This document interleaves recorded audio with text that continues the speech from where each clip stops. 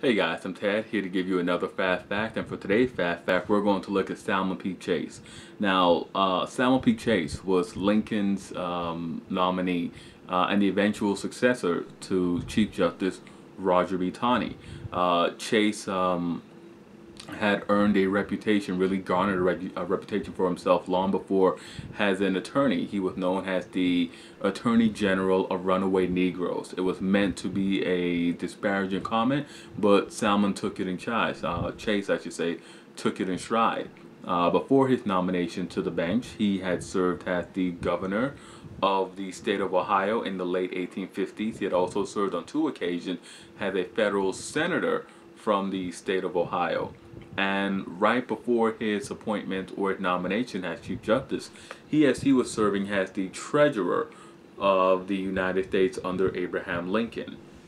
Now, Chase himself was very much um, a supporter of Republican politics. He was a radical Republican. He supported uh, Reconstruction, and he was noted for his support of the Emancipation Proclamations and, of course, the 13th Amendment. And with that being said, we'll uh, break to quick little fast fact, just um, a couple of fast facts that I uh, thought was um, interesting to note about uh, Salmon P. Chase. Um, as always, hit like, subscribe, and comment, and let me know what you guys think about this uh, fast fact and what you guys think about Salmon P. Chase.